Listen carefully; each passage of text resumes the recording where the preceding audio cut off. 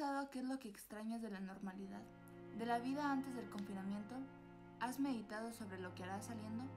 Y aún más importante, ¿has reflexionado sobre el verdadero porqué de esta crisis mundial? Los fenómenos naturales no son los mismos que los desastres naturales.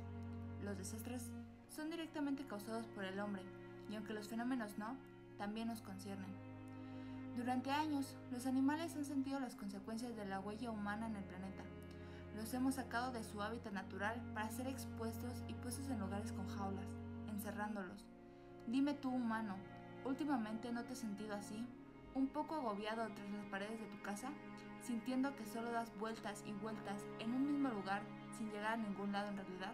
¿O simplemente sintiendo claustrofobia por la situación?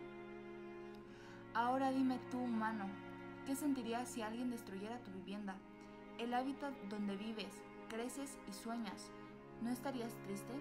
¿Te sentirías vulnerable? ¿Dónde vivirías ahora? En los últimos años hemos vivido de todo. Inundaciones, terremotos, animales extintos y un sinfín de catástrofes. Y ahora una pandemia.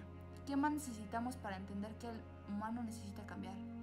Todos los cambios grandes comienzan con pequeños. Ahora dime tú, humano, ¿qué haremos cuando salgamos?